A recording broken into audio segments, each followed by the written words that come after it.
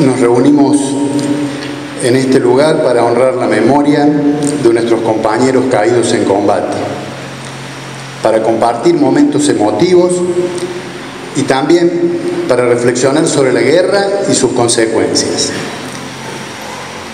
Todavía suena en mi memoria aquel discurso que pronunciara el recordado doctor Nou cuando este querido pueblo nos recibía como soldados hace 34 años. Enunciaba una serie de acotaciones distinguiendo entre los que volvieron y los que no volvieron. El tiempo pasó, volvió la tan ansiada vida democrática y hoy, lamentablemente, debemos agregar una nueva categoría a la formulada oportunamente, la de los que volvieron y no pudieron soportar los embates de los demonios que dejó la guerra y decidieron lamentablemente terminar con sus vidas. Parece mentira que después de tanto tiempo tengamos que seguir usando este espacio de comunicación con la sociedad para plantear nuestro reclamo. Quiero ser claro con esto. Señor gobernador de la provincia de Córdoba, tenemos la ley 9.996 del año 2011, ley que fue publicada durante su anterior mandato, debe ser cumplida.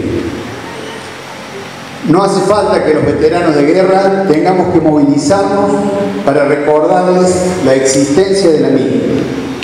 No es una cuestión meramente económica ni de presupuesto.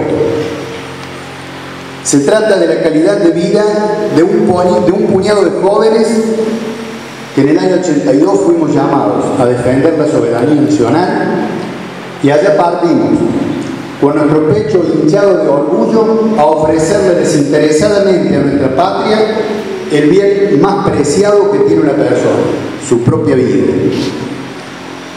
No queremos que se engrosen más las listas de los que volvieron y no pudieron soportarlo. No hace falta recordarle también que nuestra provincia de Córdoba fue la que más soldados aportó a la guerra de Malvinas. Como siempre, cada 2 de abril, y para los que así lo sentimos, todos y cada uno de los días de nuestras vidas, es nuestro deber mantener viva y honrar la memoria de nuestros verdaderos héroes. Horacio Giraudo, Fabricio Carrascul y los 647 caídos en combate. Nuestro más profundo respeto a sus familias por estos días en que tenemos el agrado de visitar los distintos establecimientos educativos de nuestra ciudad, donde nos invitan a contar nuestras vivencias, se nos activan las fibras más íntimas. Disfrutamos con las preguntas que nos hacen, la inocencia y la admiración de los más chicos. Recorremos los pasillos, se respira olor a lápiz y papel. Vemos el trabajo que hacen los maestros con sus alumnos. Y también observamos con mucho orgullo y respeto el lugar destinado a Fabricio y a Horacio en cada uno de los colegios, especialmente al que ellos asistieron. Esto hace que la causa Malvinas se mantenga viva, por ello estamos profundamente agradecidos.